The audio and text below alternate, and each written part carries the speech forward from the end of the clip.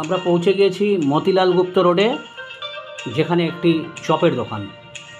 তো আসুন, আমরা জেনে নেব। এই শান্তিমঠ বাস স্টপেজে আমরা রয়েছি আর পাশেই চপের দোকান। তো চপের দোকানে আমরা যার দোকান, তার কাছ থেকে জেনে নেব।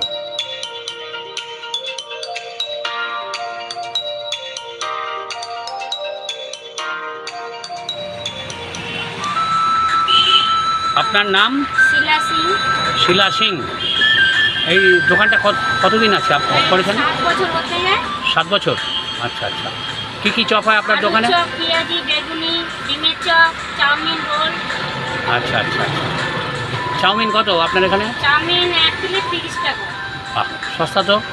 হ্যাঁ।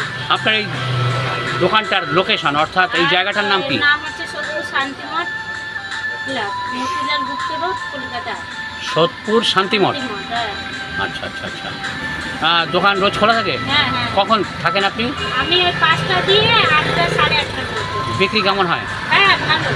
ভালো। না।